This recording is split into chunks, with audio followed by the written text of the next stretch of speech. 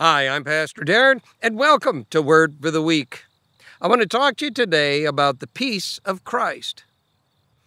In Isaiah chapter 11, God, through the prophet Isaiah, is giving us a prophecy to those that Isaiah was speaking to in his day and to us as well today of what the world and all of creation is going to be like after Jesus' final return and is overseeing all things, when all things have submitted to him.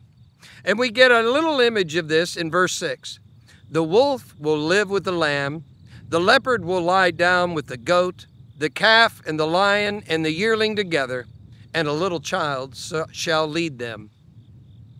Imagine that.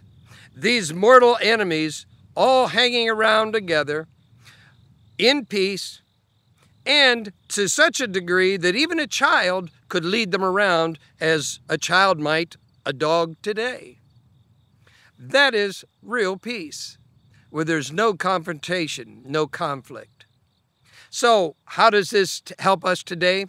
Well, it gives us an image of the hope that is to come, and it also reminds us of the peace that Jesus provides for us right now. Through Jesus' sacrifice to forgive us of our sin, through God reminding us that He knows all the things we need and that He will provide for them. He knows what we need, and so we don't have to worry about tomorrow. We don't have to concern ourselves with what's going to happen because He will lead us. It is God's desire for us to prosper and not to fail.